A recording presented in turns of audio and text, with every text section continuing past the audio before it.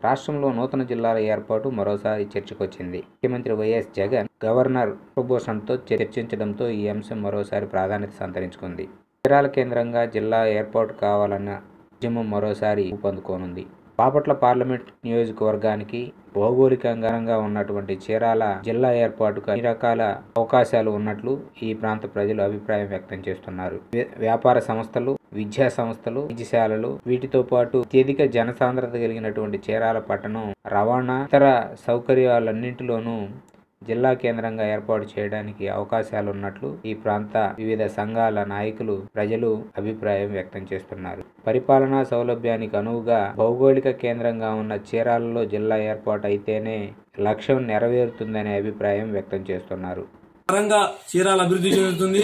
ఒక collector office ఒక SP office అదే విధంగా అనేకటువంటి జిల్లా కేంద్రాలు జిల్లా ఆఫీసులు రావటం వల్ల జనాలు విరివిగా రావటం అదేవిధంగా ఎడ్యుకేషనల్గా ఉండేటువంటి జిల్లా కేంద్రాలు రావటం వల్ల ప్రజలు వస్తూ పోతూ ఉండేదానికి ఎన్నో ఒక ఉపయోగకరమైన కార్యక్రమాలు జరిగి ఇక్కడ నివసిస్తున్నటువంటి బడుగు బలహీన వర్గాలు పేదలు వారి జీవన శైలి అభివృద్ధి చెందుతుందనేది మా యొక్క ఉద్దేశం.